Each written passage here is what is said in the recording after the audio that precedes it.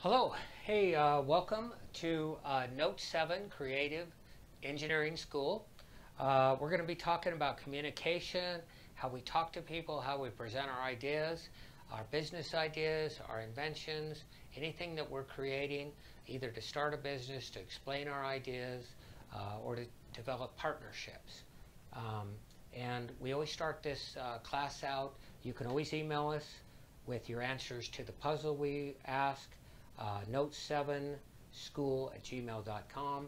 Click on our website, notes7.com, and we'll help you out any way we can, and you can get all of our lessons and see some of the other stuff we've got posted, uh, music um, um, that uh, I'm working on and uh, creating, and uh, just some theories. Uh, so anyway, we want it to be very interactive. And so we'll start out with a puzzle or a riddle. Uh, this one is going to be one of the ones that's not mathematical, um, but the one of the reasons we ask a riddle is uh, any good riddle, uh, these are not trick riddles, uh, but the, if you think you know the answer and you jump too quickly, it's not the answer. The obvious answer is never the answer, and the reason we ask it and talk about it and have fun with it is because that's what people do most of their life. They don't step back and analyze anything. So they think they've got the right answer of a decision they want to make in life, hurry up and jump through it, and it's the wrong answer. So this whole creative class is how to step back and not jump at the first answer. In some of our puzzles, there's actually four answers where you think there's one. Some you think you've heard it before, and you jump at the answer, and there's way better answers. So they just represent a way of thinking so you just don't jump at the first thing and say, I know that, that's too easy. That's what a, that's what a puzzle or a good riddle does. It's not what you think it is. So this particular puzzle today is not mathematics. It seems much simpler than that. And in every puzzle, we have um, assumptions and in this case, we've got a set of encyclopedias. People don't know what that is anymore now that we have Wikipedia, but that comes from encyclopedia. There used to be a thing called books, and you'd get a set of encyclopedias. Uh, Britannica was famous for them. They'd come to your door and try to sell them to you all the time. So anyway, I'm not going to draw them all out. In this case, we're going to have 26 volumes of encyclopedias. And those 26 encyclopedias are sitting on our bookshelf here. And um, each book, so these are the assumptions, each book is exactly the same. So on book A, it's a total. We're going to make it easy. Some of this stuff, you, it, you wouldn't really have this, but each of the covers is a quarter of an inch. Okay, so we have a quarter of an inch on every cover. So all the books here of all the encyclopedias are identical, um, which would never happen either.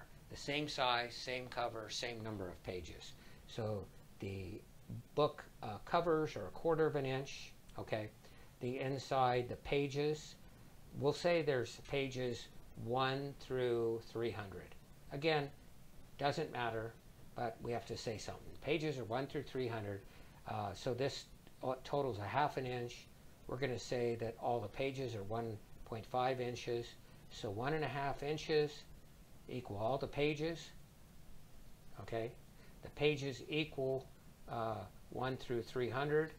There's no context, there's no pre preface, it's just the beginning and the end. Each of the uh, covers, each is a quarter of an inch thick. That's the cover.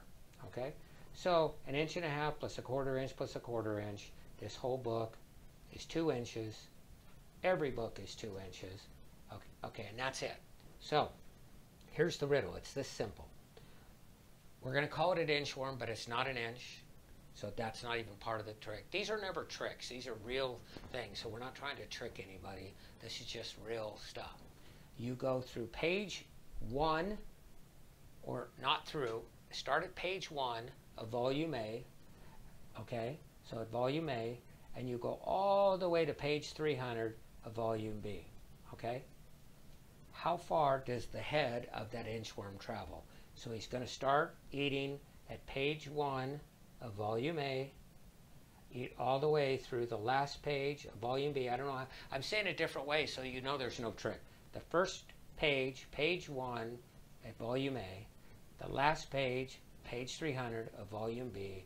All we want to know is what is the distance that earthworm travels from nose to nose, mouth to mouth. So it has nothing to do with he's an inch. He could be 10 inches long. That has nothing to do with the puzzle. How far does he travel? And remember, if you solve it too quickly, you probably didn't understand or know the riddle because every riddle leads you down a primrose path. We want you to hurry up and give a quick answer, and it will be wrong 99.9% um, of the time. So that's the riddle. Uh, hope you have fun with it. And when you get an answer, uh, shoot it over to notes7school at gmail.com. Okay, now on to our personality types.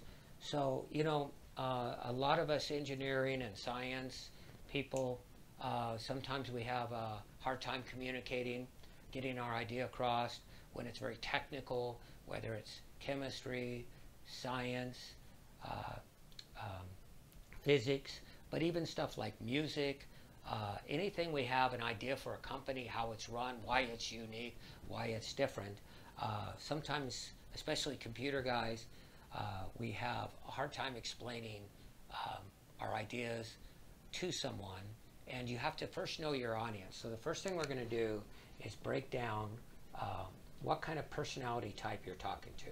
So you're talking to someone, you want to explain the idea to them, and I'm going to use uh, the idea that John Trent and Gary um, Smalley came up with, which they use animals. I love this. All the other ones are so complicated you can never remember it.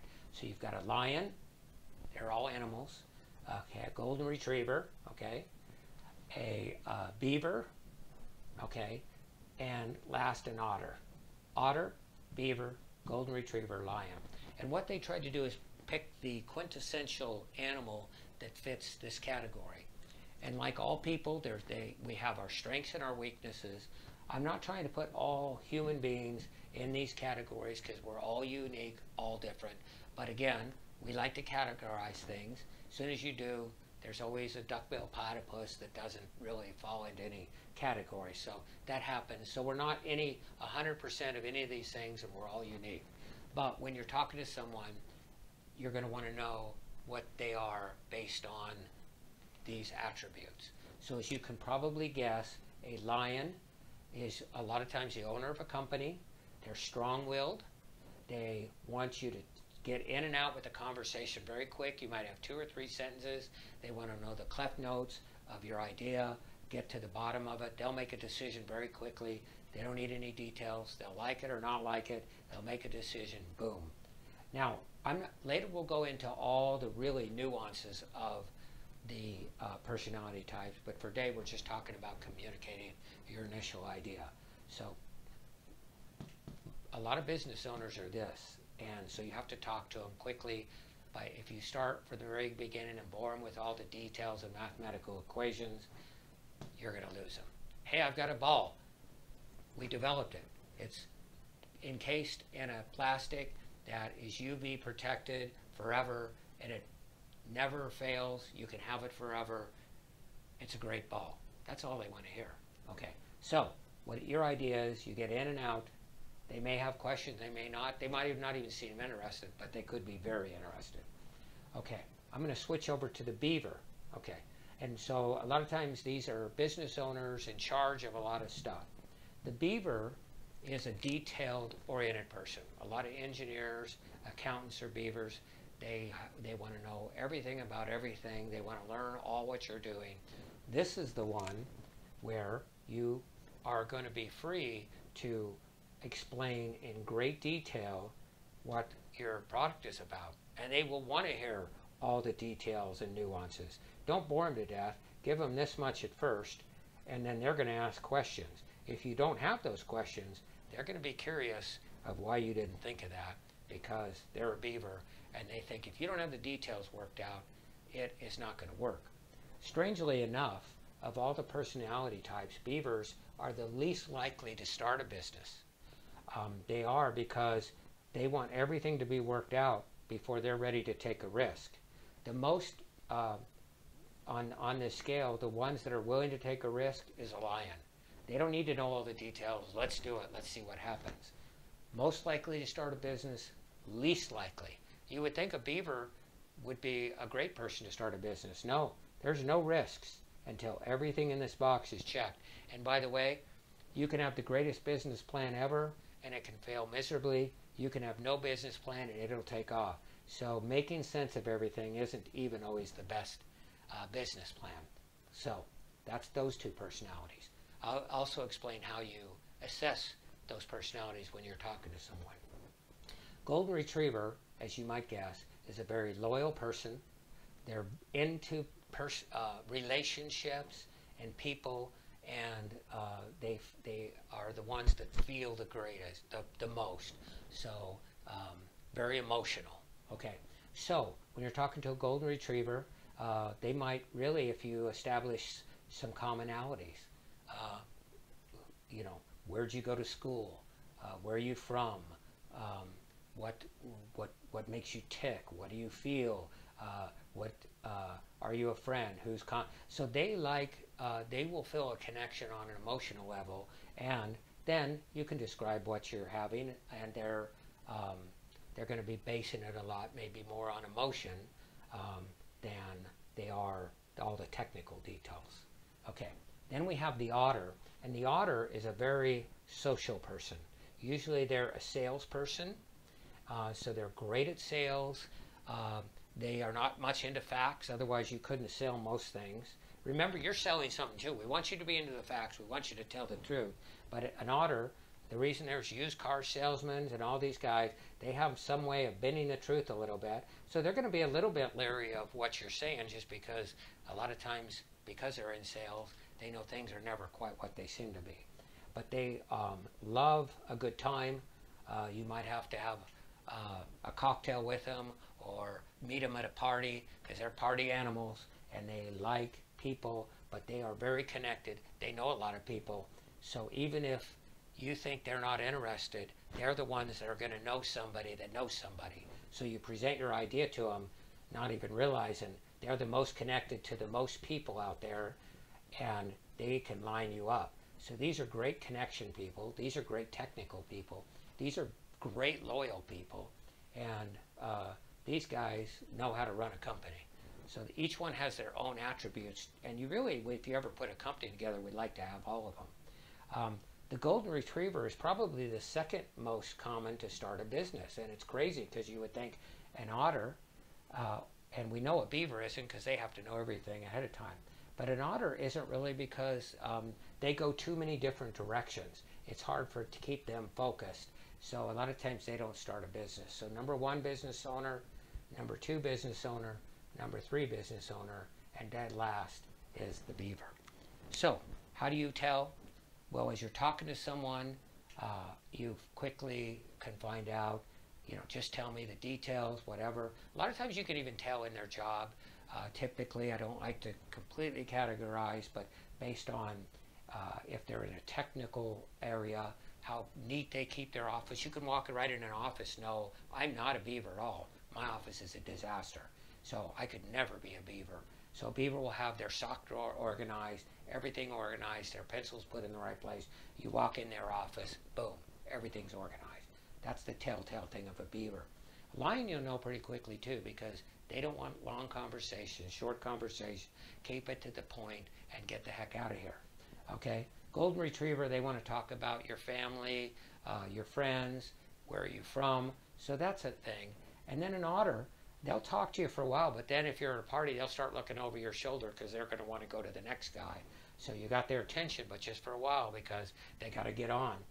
And so that will be a quick way of assessing them. So speak their language, get to the point quickly, develop a relationship, give them the technical details, or remember, these guys are the connectors. They'll get you to the right person if they're not. That's an overview, and we're going to talk in great detail about what you are, which of these categories, uh, golden, retriever, lion, beaver, otter, um, and then your strengths and weaknesses also. So that will be another class. This is really a class just to help you develop relationships in where you're going with your creativity and how to communicate with people. Okay, thanks again. Uh, email us. We'd love to hear from you. Notes7school at gmail.com. Thank you.